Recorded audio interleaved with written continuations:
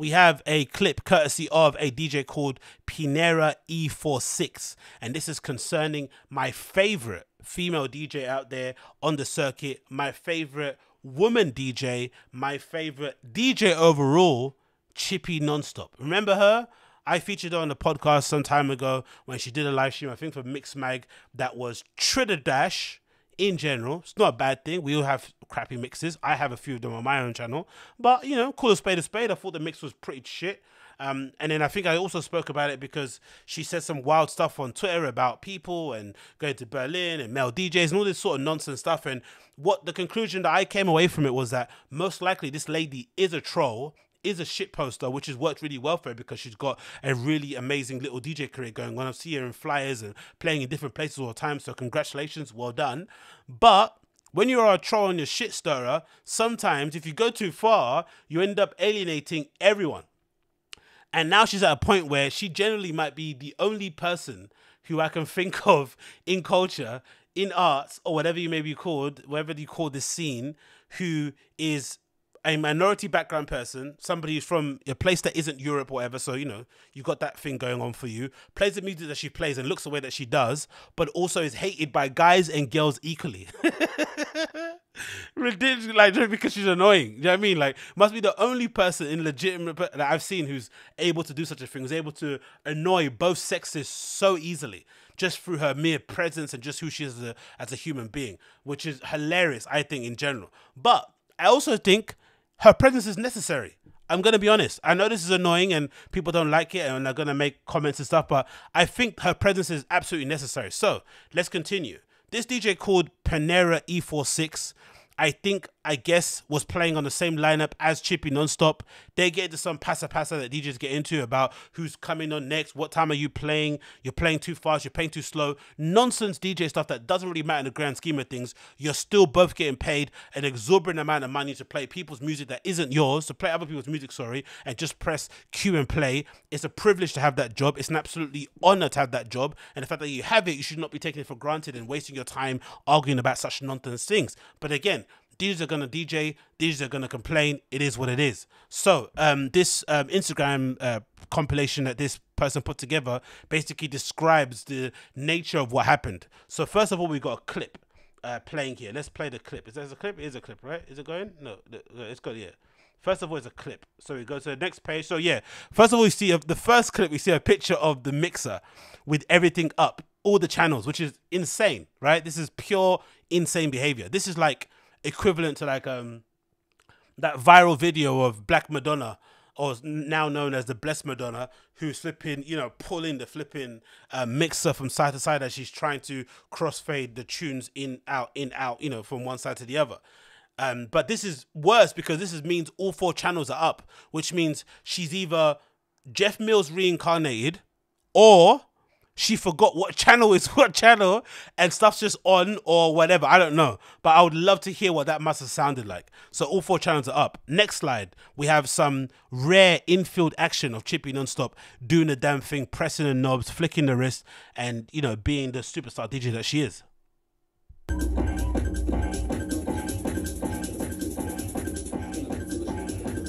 And obviously, as you can tell, even to the untrained ear, it's clanging, it's terrible. Um, it just sounds like a complete mess, which I love. Big up Chippy. Some girl screaming in the background because there's just a girl playing on behind the decks. No acknowledgement of flipping whether or not it's good or not. She just, yay, slay girl, clanging all over the place. It sounds like pots and pans. You know, it sounds like a flipping um a moose ran through flipping Gordon Ramsay's kitchen or something, but who cares? Slay. Jesus Christ, Chippy.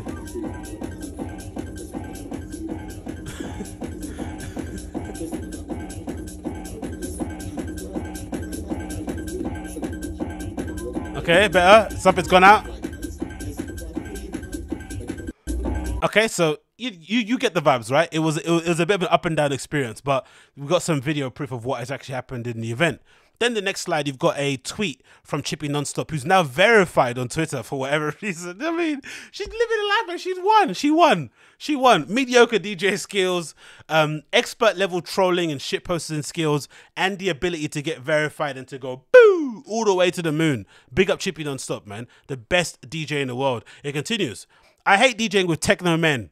what did we do? We didn't tell you to put all the channels up. Hey, anyway, this guy wouldn't let me play my set, and it was at 3:30. I went on at 3:50. Then I heard him talking to the DJ before him, saying, being like, "Why did you end your set at 150 BPM, baby? You're a professional. Figure it out." Imagine if a man said that to her. Figure it out, or let me show you. man spending. Imagine that. Imagine hilarious, right? I never understood this whole thing about oh when you end your set one who cares 150 I guess it's a European it's not even a European thing it's a UK thing? No UK people don't really care about that. Maybe it's a European thing actually I think about it. It's a European thing where like if one person's playing a two hour set and you're meant to be playing after them there's usually this understanding between DJs that you're gonna like give the person a great way to kind of start their set so you end it by kind of lowering the pace and slowing it down so they have a chance to start their set but the best clubs I've been to, the best people I've heard play, what they do is that you just play your set, hour or two hours, and then when it's your last tune, you just lower the song, and the other person makes it known. Yeah, give this guy a round or girl a round of applause. That was sick. Everyone rounds applause. Da, da, da, the the tune gets lowered, and then the other person just starts. They don't attempt to mix in the other track. That's something that we do a lot here in the UK, where you come on next and you're mixing into the other track. No, you don't need to mix in. Let the person have their moment. They play their set. Let them get the acknowledgement and the love, and then you can start clean. And I, I prefer doing that myself. I prefer kind of starting off very slow. I put on something that's like 82 BPM just to kind of, you know, um, what you call it? Just to give the dance floor a bit of a rinse, let people go off and get drinks, go in the toilets, do a bump, have a piss, have a shit, and then as I ramp up again, people can come back in and decide whether they want to stay or not. But this whole idea of like, oh, it has to be like more what the what tempo I'm playing is just some weird thing. I don't know why people have that weird hang up. Anyway, next slide. Uh, Penera then responds, saw that tweet, said, "Hey, you didn't mention my name, but I'm gonna put put a flipping name on it." He says, "Are you joking? You did the same thing weeks ago. We in the lineup on the party in Warkal. Intentionally, we didn't use the word playing because that's not what you were been doing there. Oh. When we walked at the DJ booth, you've got three channels up. Every DJ with different. So clearly, you know, I don't know what accent I'm going for there, but you know I'm doing. Uh, with different BPM. Knobs on the right. It sounded like shit with one spell. You kept clicking chaotically on all the buttons, all the DJs, on all the CDJs, and the best part, you were changing EQ on the channel, which was empty. You know what's hilarious about this? What I like about Chippy? She's just living her life trying to mix tunes, and this guy is seething in the background don't get me wrong. If it sounds like a nightmare, sounds like a nightmare. But the fact that it could annoy you to this level is like, why would you care? If she's sinking out there and actually playing shit, wouldn't it make you look better because you actually played well? If you're gonna go after her, you're gonna sound amazing. Just let her do her thing in it. But it's a it's an image of him just in the background, like, you know I mean? If this was in my country, I would kill you. You know, it's just like it's just hilarious. Anyway, continues. Sound system limiter was peaking at the time, which is the reason why on okay, she's continuing with the tweet. Oh, that's why I took a picture of the limiter. He sounds like a bit of a narc though, innit? Take a picture of the limiter. You're going over the limit. Put the, the noise down. It's like, relax, bruv. You know what I mean? If you don't run the club, chill. Um, which ironically looks exactly like the behavior of a shitty techno bro DJ. Oh, he's basically saying there are no gender wars here, man. You're just a prick. Oh, it continues. You are totally disrespectful, drunk as fuck, and still pouring booze into yourself. That's a brutal insult. Not even pouring or not even drinking. You're pouring booze into yourself like she was just there downing, taking a bottle of Jameson's to the face. Jägermeister to the face. Beck's, no, she was like a beer girl. She was like she drinks pints. You know I mean? Kronenbourg to the face, like holding the bottom of the glass, like, oh, oh. mad girl. You ended 25 minutes after you should have. Start late, end late, innit? Fuck it. Let's go, Chippy. Only because one person from the club crew turned you off and took you off. Wow. How embarrassing is that being in a nightclub? Someone has to turn your flipping system off in order to get you off to stop playing. Yikes. There must be bare stuff that happens on like the. I'm not too sure this was a major market. Maybe this was like a maybe this was in Poland. I'm not really sure. That is Poland, in it? Warka, wherever that, that place was. He said. I, I assume it was Poland. I bet there must be some mad stories, in it, in those smaller regions, um, where maybe you know, no one's gonna share an Instagram video of you playing in some random club in Hungary, in Romania, in Poland, or whatnot. Do you know what I mean? Whereas they're gonna share always images of you playing in Amsterdam, in Paris, in Berlin, and whatnot. So there must be some really funny stories about people. I'd love to find out about those people, man. Like, you know, you go to some of those bars and you ask them, oh, how was so and so? And they might have some really interesting stories to tell you for sure. It continues. The dance floor could only hear low EQ, low FQ, sorry in the whole venue, there was an overwhelming wall of bass. this is this sounds like um what's his face? This sounds like a DJ set from um what's his flipping name, man? What's her name? What's the Asian lady's name that was married to the guy from the Beatles? That sounds like a she DJ. That's what it sounds. I mean, her just screaming to the mic, like, ah. it continues. It was uncomfortable for people who attended this party and they left during your set, quote unquote. But this biggest problem is not your lack of skills. Oh, Penera with the dunks. It is your behavior. USB stick, you were wasted you you you were so wasted that you almost fell down. I love her, bro. Rock star shit. Chippy Nonstop is a rock star, man. We don't play around here. We go to DJ in smaller markets and we pour cheap beer down our throats. We get ligged up on ket, coke, whatever else we can get up our nostrils. We play with four channels up, even though we're only using two. we peak everything.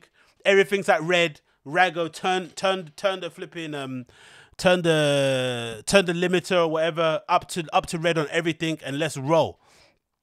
You took some drugs, drank more, passed out, drank more, and a few times attacked us. During our time putting your USB over and over until one of us told you to get the fuck out. She beat up these boys behind the decks. She pissed them off because she was mixing dodgy. Bruv, this woman's a ledge. Absolute ledge. Disaster, but I love it. This is the energy that we need, man. Enough of all this, like, I want to compete with the men. I want to do this this way. They not let me. No, come in like a wrecking ball. Both, you know, physically and metaphorically. She's coming in like a wrecking ball. Let's do this, man. Get out the way. Elbows and baps elbows and baps. It continues. We didn't want to publish it. At first, we thought that it was, bruv, she's not fucking Ricardo Villalobos or you know whatever. Like, relax, man. Just publish it. No big deal. They thought they were gonna get cancelled for airing out their grievance with, with Trippy Nonstop. It says more about these guys than her, innit? But anyway, um, at first we thought that it was this sometimes happening to anyone. It's business full of temptations. But then we heard, okay, so they thought it was a one off, but then they heard from other people bad mouthing her that she gets on it all the time. Ah, but it's a business full of temptation, he says. But then we heard that this is not the first time you're acting like this. Still, we chose not to publish it, but this is just too much. that one tweet set them up. Honestly, she's got a way of pressing people's buttons. She just said, I hate playing with techno bros, made some vague insults here and there, but it wasn't anything crazy, and it still touched them. So clearly, this lady has the ability to really get on people's skin. Clearly we're gonna upload a video from your spectacular show on our Instagram. Take care, practice more, and stop being such a hateful person. By the way, we asked someone from Warsaw for an explanation of what happened yesterday, and it wasn't the male DJ who was responsible for the delay. Oh, the male and female wars in DJ continue. It's proper GAY in like the proper sense of GAY. It's lame. It's awful. It makes no sense. Just share the dance floor together, share the booths together. If someone's playing a fast set before you, it doesn't matter. Just flipping lower the flipping channel and then let them have their moment, let them have their claps, and then you start playing whatever you want to play, whether it's 86 BPM or 120. It doesn't actually matter. If the person before you is getting lick, liquored up and they're peaking and doing whatever, don't be a narc. Don't start recording them and showing that they're peaking the limiter and they've got all the channels up. Who cares? Maybe share it with your friends in a group chat and stuff, but it's not something to to kind of you know hit someone over the head with. If someone's terrible and not taking a job seriously, it just is what it is. The whole flipping industry or genre occupation is full of chances and people who just got there because of whatever reason they got there. It's not a serious occupation, is it? There's some people that take it seriously. Don't get me wrong, but it's not exactly like um rocket science to be able to DJ, and some people can do it liquored up and ketted up and coked up and MDMA'd up and shrimmed up and weed up and whatever else. Let them do as they please. If they have a horrible set and they're clanging all over the place, it makes for a better story for you to tell your friends.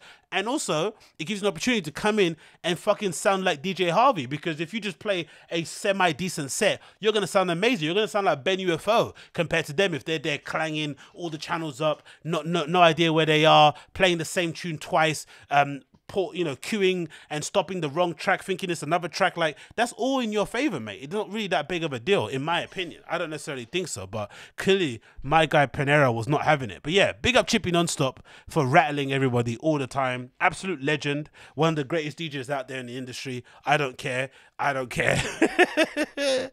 I love it, man. Funny how she does it so easily with such with such with such ease, with such panache. It happens, you know with a flick of the wrist, some would say, with a flick of the absolute wrist.